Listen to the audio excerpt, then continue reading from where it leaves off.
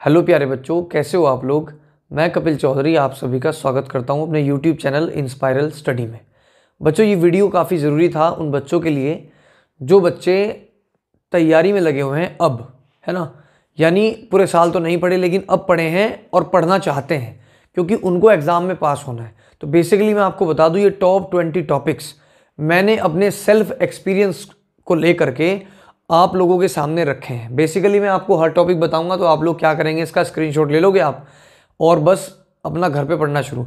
लेकिन एक छोटी सी बात आप मेरी सुन लो, पाँच मिनट की वीडियो जाएगी बस। इन पाँच मिनट की वीडियो में जो मैं आपको बताने वाला हूँ, वो आपके बोर्ड एग्ज़ाम में, आपके साइंस के मार्क्स में साफ़ साफ़ दिखाई देगा। ठीक है बच्चों? टॉपिक्स तो आप पढ़ ही लेंगे कौन कौन से टॉपिक्स हैं। ठीक है? यहाँ कौन से टॉपिक्स हैं? ये आप पढ़ लेंगे। जिनमें आपको समस्या होती है, मैं आपको बता दूँगा। एक तो समस्या आपको होगी रे डायग्राम। यहाँ मैं आपको बता दूँ कि कॉनकेव मिरर, कॉन्वेक्स मिरर और आपका जो कॉनकेव लेंस और कॉनकेव लेंस है, उसको लेकर के ये रे डायग्राम है, इसके ऊपर क्वेश्चन बनेंगे। ठीक है, वन बाई वन आपको बता देता हूँ। पहले नंबर पर डाइजेशन इन ह्यूमन, यानी खाना कैसे पचता है? फोटोसिंथेसिस, यानी पौधों में खाना कैसे बनता है? कॉन्ट्रासेप्शन के मेथड क्या होते हैं? तीन मेथड आते हैं हमेशा पूछने में। ठीक है, सेक्सुअली ट्रांसमिटेड डिज़ीज़ क्या होती हैं? यानी एचआईवी, एड्स वगैरह, ये आपको पढ़ने हैं। फीमेल रिप्रोडक्टिव सिस्टम इसके अंदर क्या पूछा जाता है? हर बार डायग्राम तो नहीं आता, लेकिन पूछा क्या जाता है कि कौन से ऑर्गन का, है ना?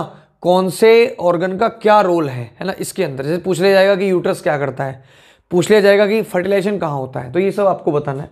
उसके बाद क्या होता है? जब जब अंडे का निषेचन नहीं होता, ठीक है? यानी what happens to human egg when it is not fertilized ठीक है? उसके बाद में सेक्स डिटर्मिनेशन यानी लड़का है, लड़की है, किस तरह पता चलता है है ना? एक्स वाई का सिस्टम वीडियोस पड़ी हुई है, देख लेना, ठीक है? उसके बाद बच्चों मेंडल्स लो पी प्लांट वाला, मटर के पौधे वाला हमेशा आता है, और सबसे बड़ा क्वेश्चन जो लास्ट ईयर भी था एफ़ वन जनरेशन में और एफ़ टू जनरेशन में इसका रेशो क्या रहता है, वो याद करके जाए, ठीक है बच्चों?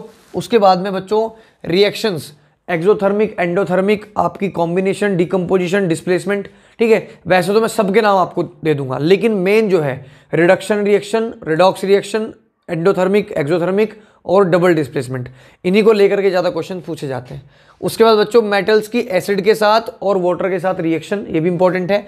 और baking soda plaster of Paris washing soda bleaching powder ये इंपॉर्टेंट है। वाटर ऑफ़ क्रिस्टलाइजेशन ये भी बहुत ज़रूरी है, ठीक है? स्पेक्ट्रम ऑफ़ वाइट लाइट, ये प्रिज्म वाला क्वेश्चन है। वाई डू स्टार्स ट्विंकल तारे क्यों टिमटिमाते हैं? ये आप लोग बता देंगे, ये मैंने आपको बता दिया। उसके बाद motor double circulation in heart यानी कि हमारे दिल में कैसे होता है डबल सर्कुलेशन ये आपको बताना है। और साथ साथ बच्चों, आपकी किडनी ठीक है? ये सब चीज़ें आपको पढ़नी है। अब मैं आपको एक चीज़ बता दूँ। बच्चों, जो बच्चे प्रॉब्लम्स में हैं, जिन बच्चों को लग रहा है कि क्या पढ़ें, है ना? अगर वो बच्चे कुछ याद नहीं करते, अगर उन्होंने आज तक कुछ याद नहीं किया ना वो करना चाहते। तो बच्चों, इन टॉपिक्स को बिल्कुल मत छोड़ना। इस वीडियो को पूरा का पूरा कंप्लीट आप निकाल करके और इन टॉपिक्स को पढ़ लेना। आपके एग्ज़ाम में 100 परसेंट आपकी हेल्प करेगी। ठीक है बच्चों, ज़्यादा टाइम आपका नहीं लूँगा। ये क्वेश्चंस आप लोग रेडी कर लेना। स्क्रीनशॉट लेने के लिए टाइम दूँगा आपको लास्ट में। ठीक है? और साथ ही साथ बच्चों, इस वीडियो को शेयर ज़रूर कर देना क्योंकि बहुत सारे बच्चे ऐसे हैं जो नहीं पढ़ते तो कम से कम इन टॉपिक्स को रेडी कर लें।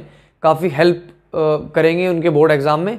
तो आज के लिए बच्चों इतना ही। जय हिंद, जय भारत, जय माता दी, जय श्री राम। स्क्रीनशॉट ले लीजिए आप फटाफट से, ठीक है? और इन्हीं क्वेश्चंस को अपना रेडी करो। थैंक यू बच्चों।